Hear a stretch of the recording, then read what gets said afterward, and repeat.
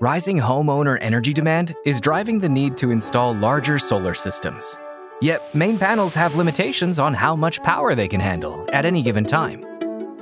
It means that in many cases, if you want to install larger PV systems, you'll need to upgrade the main panel to increase capacity.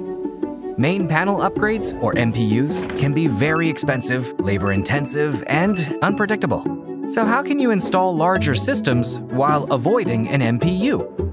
SolarEdge home inverters embedded a power control system, or PCS, specifically designed to monitor and balance PV and grid power.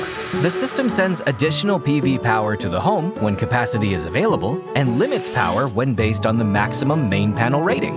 It means you can install larger systems while complying with code requirements and avoiding main panel upgrades.